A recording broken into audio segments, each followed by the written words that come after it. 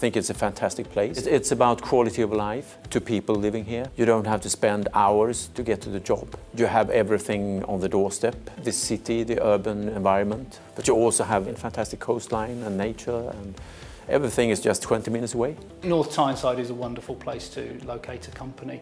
Um, some great places to live and some great places to uh, enjoy your spare time.